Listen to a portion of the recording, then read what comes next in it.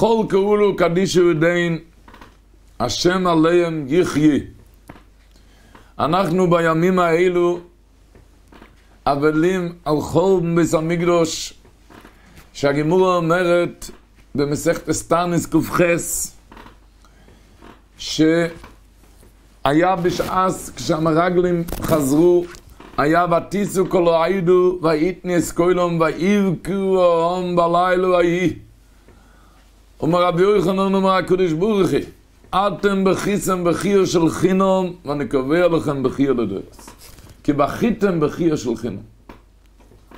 עוד דבר לנו ידוע, שהימים האלו מה שאבלים החור בית המקדוש זה בגלל סינס חינום. סינס חינום. נראה מה זה החינום.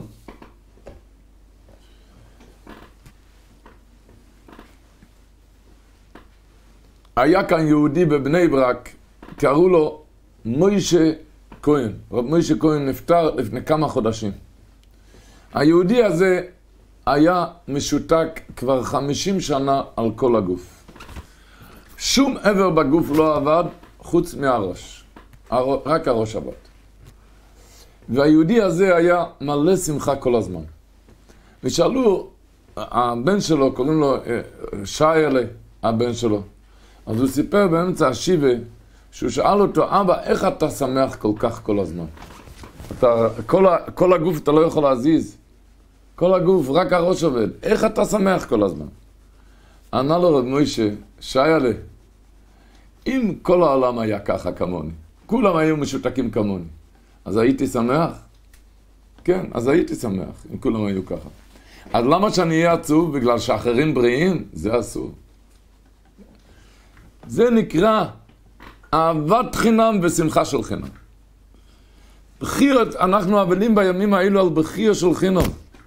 בואו נתבונן, נתבונן בשורש. על מה אתה עצוב?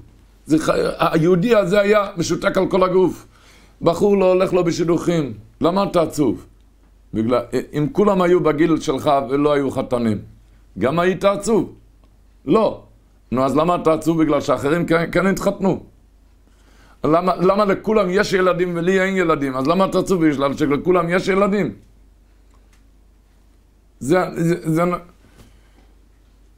ננתח את זה לבני, הרי אני מדבר לבני ארצות הברית, האבס ישראל. אתם נוהגים ככה מנהג ישראל שם, נוסעים לקונטריס. ככה כידוע לנו, שהשירים הכי גדולים גרים בארמון ששווה הרבבות. נוסעים לקונטרי, נכנסים לחדר שכמו כולם, כמו כולם. איך, למה, למה פתאום שם אתה נוסע כמו כולם? בבית אתה צריך ארמון משוכלל שיקר מאוד מאוד, ובקונטרי טוב לך גם עם, עם חדרים פשוטים. למה פתאום, כאן, למה כאן טוב לך עם חדרים פשוטים? מישהו רצה להגיד לי בגלל שזה רק על חודשיים. אמרתי לו שזה לא נכון, כי אפילו כשהוא יעלה העשיר הזה על המטוס, אפילו רק על 12 שעות, הוא ייקח את ה ticket של business class של 5,000 דולר. אז מה, ואם הוא ייכנס למלון על כמה ימים, הוא גם ייקח מלון של 6 כוכבים, שזה עולה הון תועפות. נו, אז למה בקונטרי, רבותיי? למה? למה כאן זה טוב לך עם קירות פשוטים, בלי כל השכלולים? למה אתה לא צריך עשירי כמו, כמו בבור פארק? האמת, האמת, בגלל שאחרים גם אין להם יותר מזה, אז אני גם לא צריך יותר מזה. האחרים יש להם, האחרים, אז אני גם, זה גם טוב לי, לכולם. אז זאת אומרת, מה אתה עובד כל הזמן רק בשביל אחרים? ועל זה הבכיר של חינום, ועל זה הכינוס חינום, ועל זה הסינוס חינום. תתמודד עם עצמך, ויהיה, אז יהיה שמחה של חינום. אומרים שהאברך לוקח את הטלית, מטטף בטלית, ההלכה צריכים לכסות את העיניים, עד הפה, בעטיפת הטלית. הוא מכסה את העיניים, הוא לא רואה, ולא רואה לא ימינה ולא שמאלה, לא רואה אנשים, אז הוא אומר, מה יהיו קור חסדך אלוקים? אז הוא יודע להודות, להודות על החסד. כי הוא לא רואה אנשים אחרים שיש להם יותר. הוא לא רואה אחרים, אנשים אחרים שיש לו יותר. אז אין שנאת חינם, אין קנאה. אין קנאה ואין שנאה. ידוע עליו, איזה ברוכה עושים על הנעליים בבוקר? הגימור אומרת שעושים ברוכה שעושו לי כל צורקי. שעושו לי כל צורקי. למה עושים שעושו לי כל צורקי? הגימור אומרת, כי לאוילום, אם קור אודום קוירוס בייסוי, ימכור אפילו את הגג, ויקנה מנעליים לרגליים, ולקנות נעליים לרגליים. ימכור את הגג לקנות נעליים. ולכן, אם אתה עושה על הנעליים את הברוכה, שרוצו לי כל צורקי. שעל ידי הנעליים יש לי את הכל. אומרים בדרך צחוס, ש... למה אומרים שעושה לי כל צורקי על נעליים? מישהו נכנס לחנות נעליים, רצה לקנות נעליים. איזה אברך יקר. כאן בארץ ישראל זה הולך המספרים, יש מספר 40, מספר, מספרים, מספרים של גודל הרגל. כאן בארץ זה הולך מספר 40. אז שואל אותו, איזה מספר אתה צריך? אומר, אומר לו, הקונה 40. אומר לו, המוכר, לא, לא, כזה אברך חשוב, אני לא אתן מספר 40. כזה אברך חשוב, רק 45. אומר לו, לא, 45 אני אפול מזה, זה לא טוב. אני לא יכול לתת לאברך חשוב כזה מספר קטן, 40, רק 45. אומר, אבל יהיה תאונות דרכים מזה, אני אפול לזה על הכביש. זאת אומרת, זה תדע שעושה לי כל צורך, כי מה שיש לשני זה בשבילך מספר 45, זה לא טוב עליך. זה לא מספר משקפיים שלך, אל תסתכל לשם. וממילא לא יהיה קינא ולא שנאה זכינם ולא יהיה בחייה שלכם.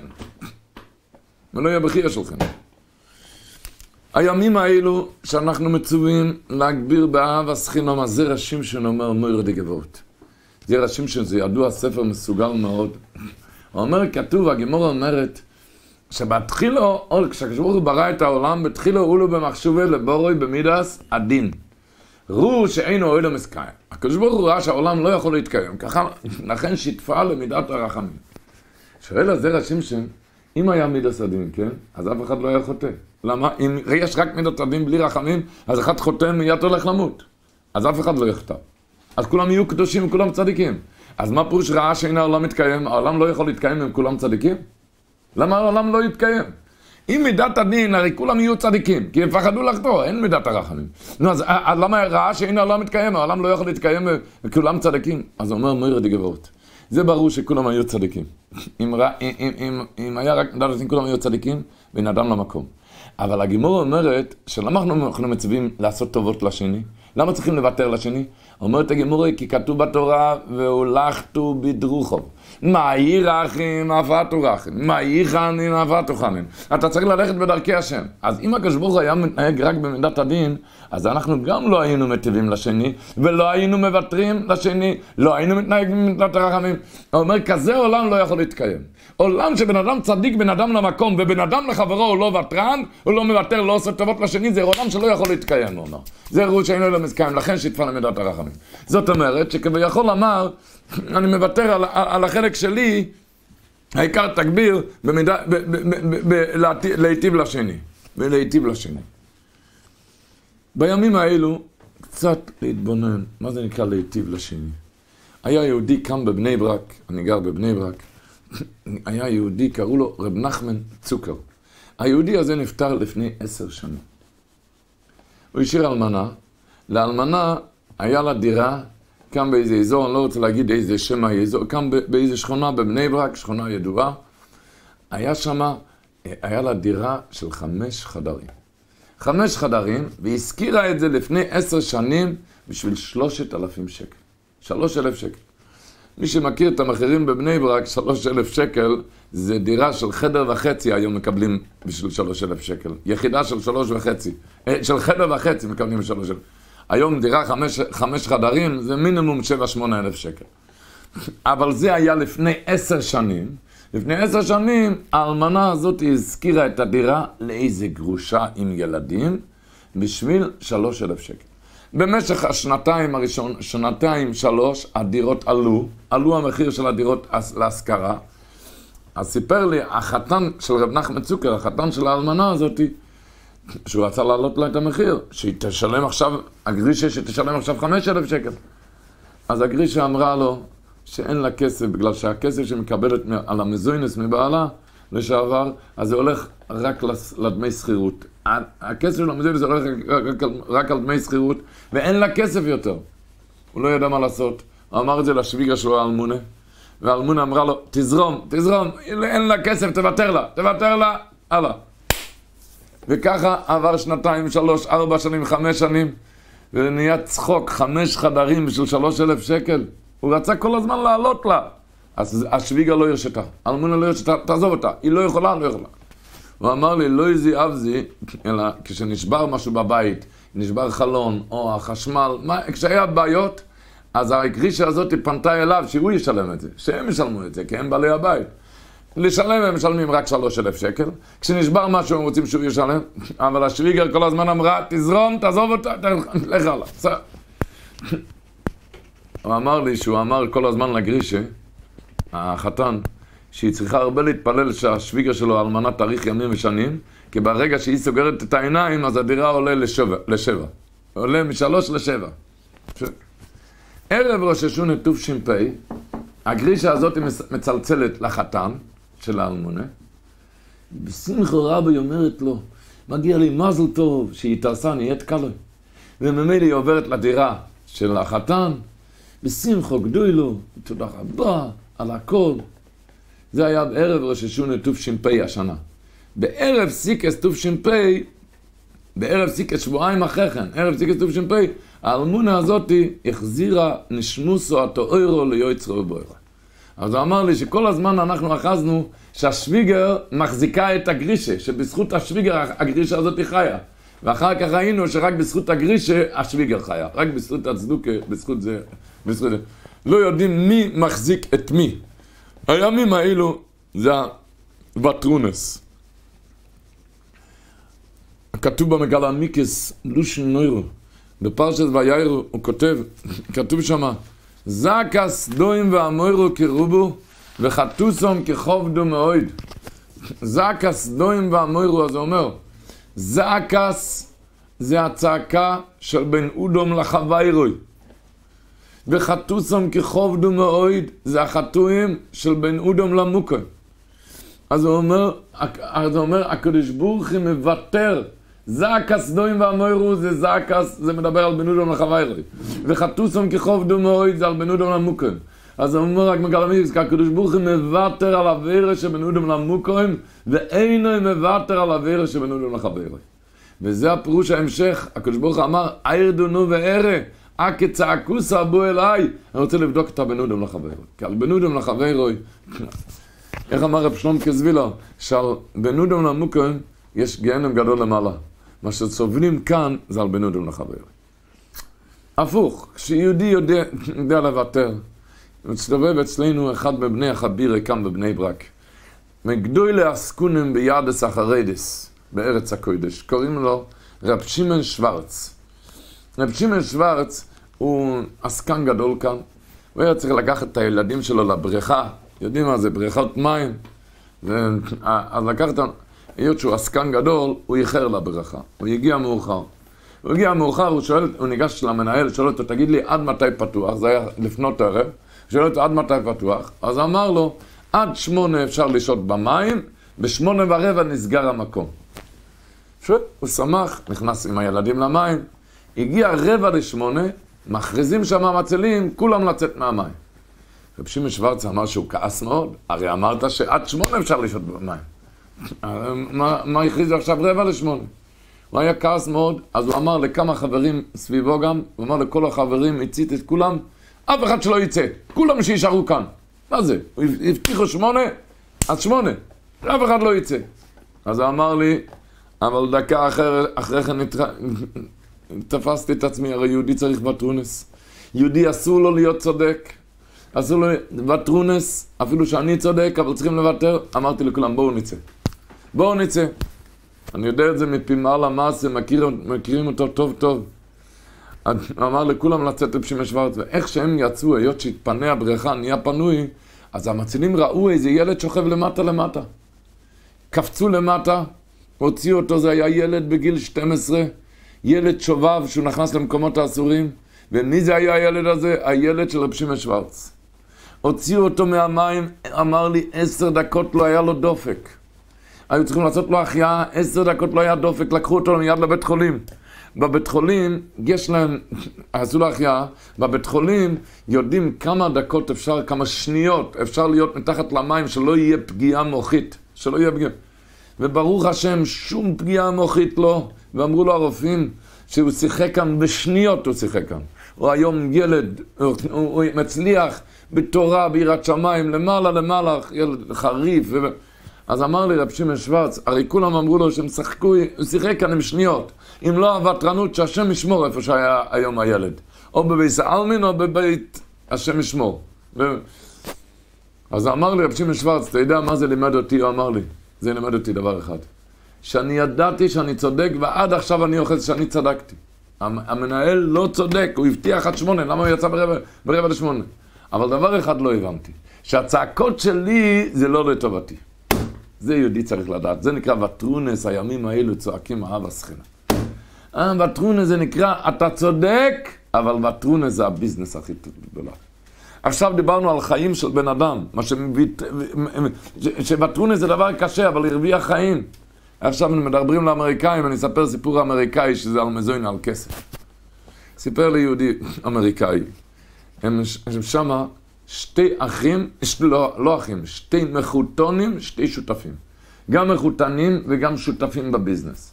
והיה איזה גלמוד, ניצול שואה, שהיה אוכל אצל שתיהם. היה יושב, מסתובב אצל שתיהם, בלילה אצל, אצל השותף הזה, ביום אצל השותף הזה. שבתות ויומים טובים, בימי סחול וראשי חודשים. כל הזמן היה מתארח, מסתובב אצלהם. עד שאצל אחד משתיהם זה, זה, זה, זה נדנד לו. היה מאוד כבד, לא, לא למחית מעצמו, אלא כמו לעקרס הבייס. לבית זה היה מאוד קשה, למה? כי הגלמוד הזה נכנס יותר מדי לקישקס. הוא, היה לו דעות בבית, איזה וילונות, היה לו מדי הרבה דעות. אה, הוא היה נכנס יותר, קוראים לזה כאן נודניק, הוא היה מיד, מדי, מדי נכנס ל... עד שפעם אחת הכרס הבייס, היא, הגיעה הביתה בערב שבס עם עציץ יפה, והיא שמה את זה על השולחן, והגלמוד הזה נכנס הביתה, אמר, אה, העציץ הזה לא מתאים כאן, לא יפה, הוא הוריד את העציץ, שם את זה במקום אחר. אז הרבנית נכנסה ואמרה לו, מאוד נעים לנו שאתה כאן, מאוד חשוב, אתה מאוד חשוב לנו, אבל הדעות שלך כאן בבית מיותרות לגמרי. אנחנו, יש לנו מספיק דעת איך לנהל את הבית, הדעות שלך מאוד מיותרות לנו, ואל תתערב לנו בקישקס. הוא מאוד נפגע ועזב את הבית. כמה שהוא, ביק... אה, בעל הבית, אה, שלח לפייס אותו, רצה שיחזור, הוא לא רצה לחזור. בשום פנים, הוא לא רצה לחזור, הוא נפגע. תקופה ארוכה. אחרי תקופה ארוכה הוא חזר, ולא סתם חזר, אלא הוא שעה אצלו כבר הרבה, הרבה יותר מהמחיתן השני. הרבה יותר, הוא כל הזמן היה אצלו, עד שבסוף יומו היה חולה, היה סיעודי, אז היה אצל המחיתן הזה, אצל, נקרא לו עכשיו פוגע, למען הסיפור. אצל הפוגע הזה, הוא היה אצלו יום ולילה, והוא צירד אותו, כל הזמן הוא כבר היה באיזה... היהודי הזה נפטר, הגלמוד, והוא השאיר, של... השאיר שלוש צוואות. הוא השאיר שבע מיליון דולר. כזה דבר, המחותונים נכנסו מיד לבית משפט, בשביל מה? להציל את הכסף מהממשלה, להציל את הכסף מהממשלה. נכנסו עם עורך דין, והיו שם שלוש שבועות. צבא אחד היה לפני המריבה, לפני שהוא נפגע, אז הוא כתב צבא שילך חצי חצי, שלוש וחצי מיליון למחיתן הזה, שלוש וחצי מיליון למחיתן הזה. בשעה שהוא נפגע בתקופה הזאת, הוא עשה עוד צבוע, שכל השבע מיליון למחיתן השני, ושהמחיתן השני ייתן למחיתן, שייתן לשני, לפוגע, אלף דולר. זה היה בתקופה הזאת שהוא נפגע. הוא כתב, זה היה הצבוע האמצעית, שכל השבע מיליון לזה שלא פגע, ושהוא ימסור אלף דולר לפוגע. אחרי שהוא התפייס וישב אצלו הרבה זמן, אז אצלו בבית הוא כתב צבוע שלישית, כמו הצבוע הראשונה, חצי חצי. שלוש וחצי מיליון לא, שלוש וחצי מיליון לא. עכשיו הם הגיעו לבית משפט, שני המחיתונים עם עורך דין. אמר לי ככה, שהוא ראה הפוגע ראה, הפוגע רואה איך שהמחיתון שלו מרמז משהו לעורך דין, והעורך דין פותח את הקלסר שלו, והוא קורע את, רק את הצבוע האמצעית, והוא נותן את זה לשופט. את הצבוע האמצעית שמה? שמגיע לפוגע רק אלף דולר. הוא אמר שהוא חשב שהוא כזה, כזה פברך, כזה, כזה עוול משווע, מה, אתה יודע שיש צבוע שלישית. יודע, איך אתה מוציא את הצבוע האמצעית? זה, איך אתה מוציא את הצבוע האמצעית? מה, אתה לא יודע שיש כאן צבוע שלישית? הוא אמר לי, הצבוע השלישית היה אצלי בכיס, כי הוא כתב זה אצלי בבית. ויכולתי מיד להוציא את זה לשופט. אבל מה? אני נזהרתי, הוא אמר, כי הוא, היות שהוא מחיתן גם, הוא ידע אם מחיתונים צריכים להיזהר, שאם מחיתונים מתחילים לריב זה יכול לעבור לבני הזוג, והכריסו מי ישיר לנו, זה יכול להמשיך עד לגט, רחמנא ליצלן. ולכן הוא נזהר, הוא, הוא לא הגיב, הוא אמר, אני צריך את הסטוירי, מה לעשות כאן? הוא אמר, יכולתי להוציא משם בבית משפט את הצבוע השלישית והייתי גומר איתו. חצי חצי, אבל פחדתי היות שזה, אפילו שעשה לי עוול משווע. אתה יודע שיש צבוע שלישית, מה אתה מוציא את הצבוע האמצעית? עוול משווע, אבל ידעתי, אני פחדתי על הילדים, אסור לריב עם החיתונים, זה יכול לעבור לילדים, אני צריך הסטורי. הוא אמר, הוא הגיע כאן לארץ, היה בארץ, אני, אז הוא נכנס, הוא רצה לדבר עם הרב אוזנו. עם הרב אוזנו. ניגש לרב אוזנו, דפק בדלת, הרבנית אמרה שהוא לא יכול לגשת. אז הוא ביקש מהרבנית שתגיד לרב אוזנו שזה פיקח נפש. הוא חשב, הוא אמר, הוא הרגיש את הלב על כל הסיפור הזה. זה מזרח שלוש וחצי מיליון דולר, כזה עוול משווע, לא ידע מה לעשות. הרב אוזנר אמר שייכנס. הוא נכנס, הוא מראה לרב אוזנר את הצבוע, הוא מספר לו את הסיפור, מה שהולך כאן, הוא שאל את הרב אוזנר מה עושים.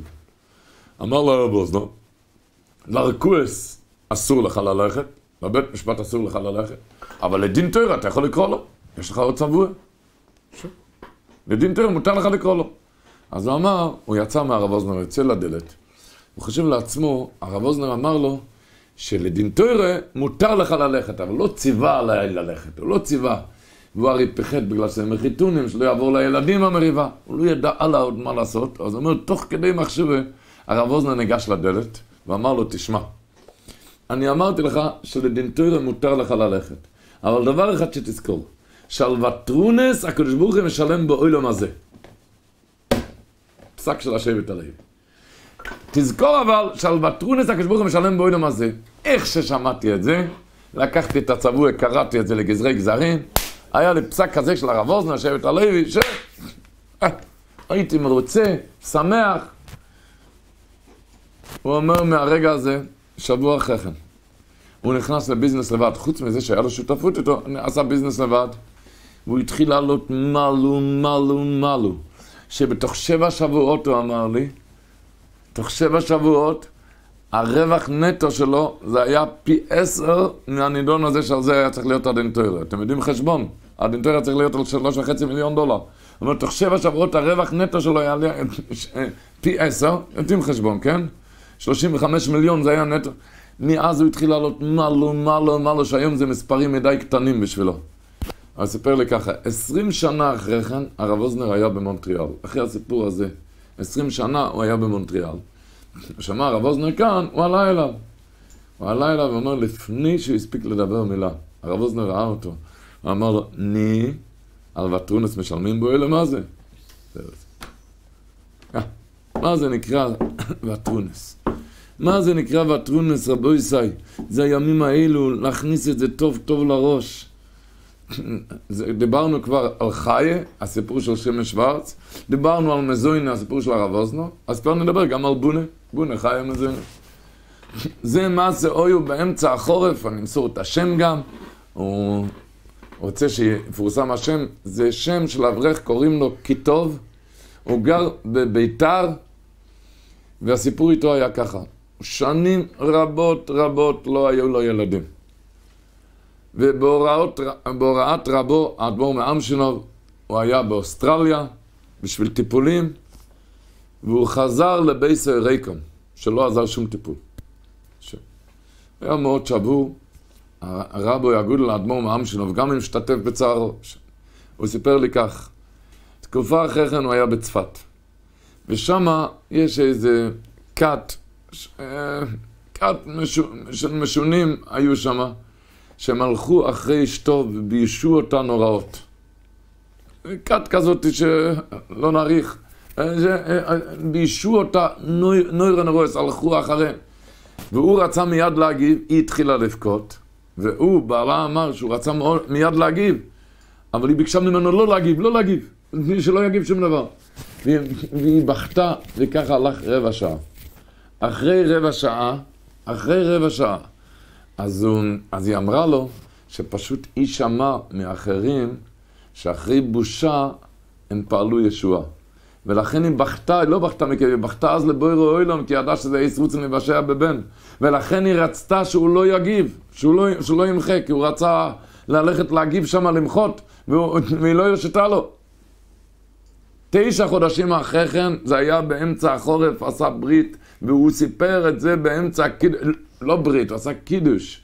בבת באמצע, באמצע החורף, ובאמצע הקידוש הוא קם ומספר את הסיפור הזה, תשע חודשים אחרי כן נולדה לו בת, אחרי שכל הרופאים לא ראו שום זה. זה הפירוש הוא, כשיהודי, יש איזה וורד, גם אוויל מחריש לחכם יחשב. מה הפירוש? כשבן אדם צריך ישועה, אומרת הגמור, מי שיש לו חולה בתוך ביתו, ילך אצל חכם ויבקש עליו רחמים, ילך אצל חוכו. אבל גם אוויל מחריש, אם אתה שותק כשאתה מקבל בושות, אז לחוכם יחושו, אתה כמו חוכם, אתה גם יכול לפעול ישירות. אוויל ראשי תיבות, אוזניים להם ולא ישמעו. אוויל ראשי תיבות, אוזניים להם ולא ישמעו. אתה שומע אוזניים, שומע בושות, ואתה לא, ואתה לא מגיד. אוזניים להם ולא ישמעו, גם אוויל מחריש, לחוכם יחושב, אז הוא כמו חוכם. אז הוא כמו חוכם. היה יהודי בארצות הברית שנפטר שנה שעברה. שנה שעברה, זקן מופלג, קראו לו רב בורך פרנקל. יש לו נכדים שמסתובבים בני החבירס. רב בורך פרנקל הזה, הוא נפטר, סיפור אמריקאי. הוא היה זקן מופלג. הוא היה בשנת תופרש צדיקטס, היה גר ביורופ, ולא היה כסף לאכול. אז הוא יצא עם עוד חבר הברית, פשוט לעשות כסף, לעבוד באיזה דבר, לעבוד באיזה עניין, אני לא זוכר במה, והם שלחו הביתה כל חודש קצת כסף לחיות, ושמו בצד. ככה שלוש שנים. כל שלוש שנים הם עבדו שם בניו יורק, כל חודש הם, הם שלחו הביתה קצת כסף בשביל לחיות, ושמו בצד בשביל שיישאר על אחר כך. אחרי שלוש שנים נשאר לשתיהן סכום מאוד מכובד לח, לחזור ולחיות ולחתן ילדים, סכום מכובד, אז הם החליטו לחזור הביתה. כבר קבעו זמן תאריך מתי לחזור הביתה. ורב אורך פרנקל הזה, הוא... אבא שלו נפטר אז, אז הוא היה צריך לשבת שיבה שם בארצות הברית. החבר הזה, הם היו שתיים, שתיים חבר'ה, החבר הזה באמצע השיבה הגיע אליו עם ניירת והחתים אותו על דפים. דפים הוא שמח, השותף שלי, הרי כל הזמן עובדים ביחד, שלוש שנים, מסורים הוא חתם לו על הכל.